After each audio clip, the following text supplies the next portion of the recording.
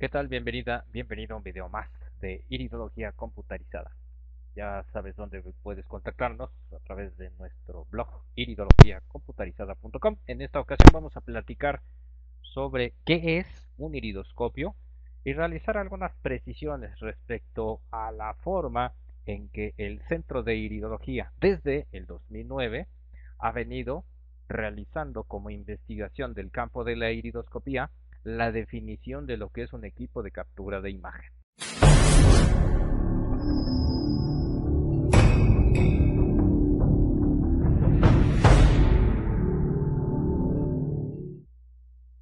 Muy bien, muchas gracias por estar viendo este video y nuevamente vamos a hacer algunas precisiones respecto a lo que es y no es un iridoscopio desde diciembre del 2009 cuando aún existía la tecnología de iridoscopía para el sistema operativo denominado Windows XP, la capacidad de los iridoscopios estaba limitada a 1.3 megapíxeles y 2.0 megapíxeles.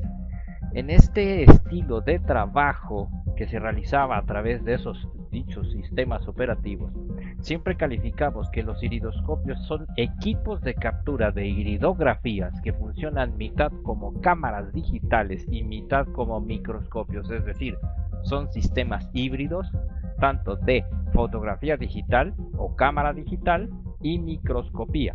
En este caso, las iridografías van a estar sujetas a varios factores, a la magnificación que puede tener la ampliación de imagen a través de una lente de 30 aumentos 30x, a la colocación de los puntos de iluminotecnia, que en la mayoría de los equipos de captura es PAR 39, y también a la realización de un enfoque que puede ser bajo un micrómetro en los equipos que ya son más recientes o a través de dispositivos y mecanismos rotatorios que ayudan a magnificar o en su caso hacer el enfoque.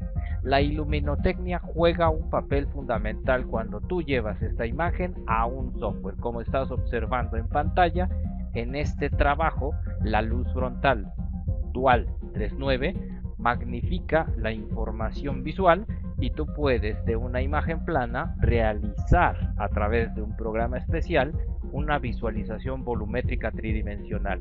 Hay que aclarar, los iridoscopios no sirven para otra cosa más que para capturar imagen digital y esa imagen la vamos a llamar iridografía. ¿Por qué nada más funcionan para esto?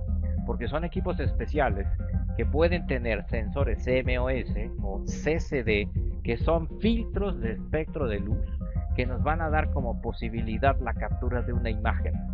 La captura de la imagen también va a estar dependiendo de la colocación de los puntos de iluminotecnia y si son a nivel de pupilografía vamos a encontrar los puntos al centro.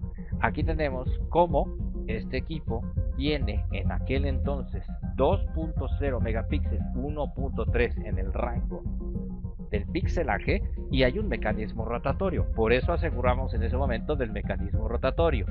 ¿Cuáles son los mitos referentes a lo que es captura y los mitos de los iridoscopios? Se cree que ante más píxeles hay garantía de mayor calidad de imagen. Esto es falso.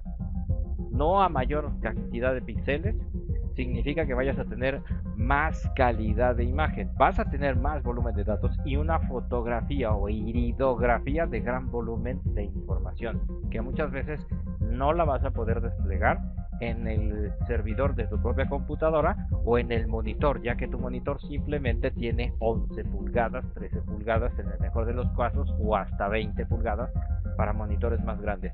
Pero en el caso de 12, 15 megapíxeles se necesitan monitores de gran calado para poder dar cabida a una imagen de gran volumen. Ahora, otro mito.